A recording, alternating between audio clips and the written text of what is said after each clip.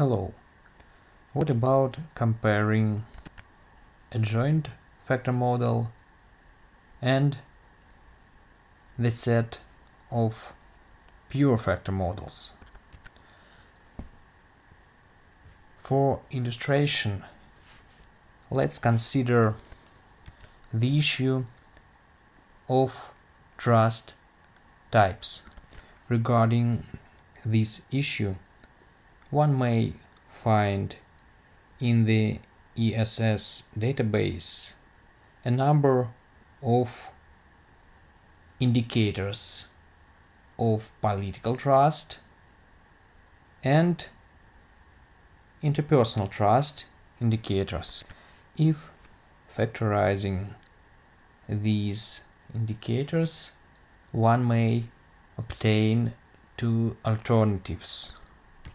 The first alternative is a joint factor model consisting of two components.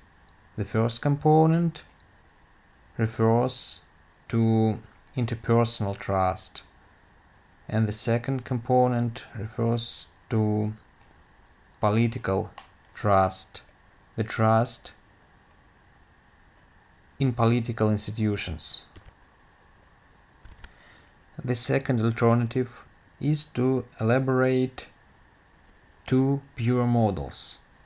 The first pure models containing the indicators of political trust and the second pure model containing the indicators of interpersonal trust.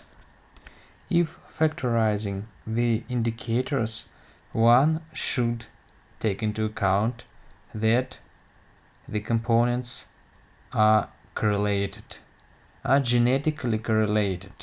Therefore, it is needed to apply Promax rotation if one want to construct a joint factor model. And there is no need to keep in mind that the components are genetically correlated. If one choose the alternative of the two pure models these and these